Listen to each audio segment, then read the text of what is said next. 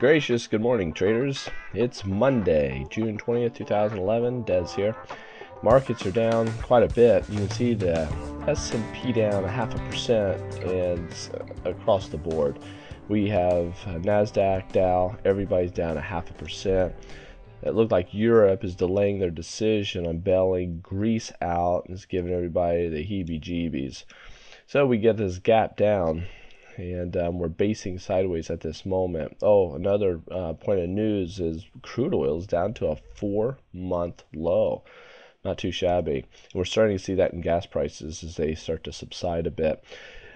And if I'm gonna, I'm gonna bring in a lot of data here,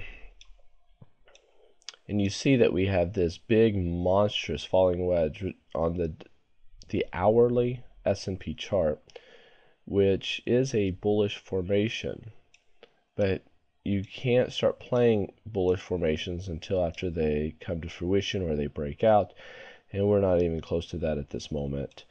So what we're looking at here is a continuation making these new lows. You can see that we're starting to make these new lows.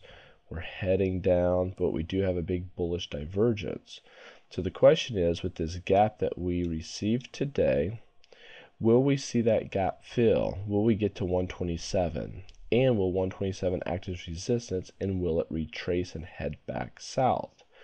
So this is something we're going to need to watch today. But right now, as long as we're between this blue line and this blue line, it's just for day traders.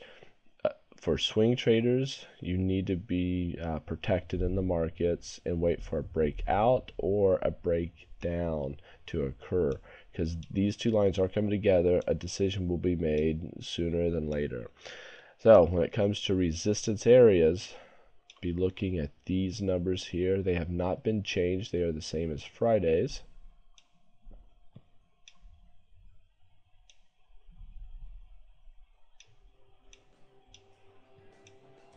And when it comes to support, here are your numbers.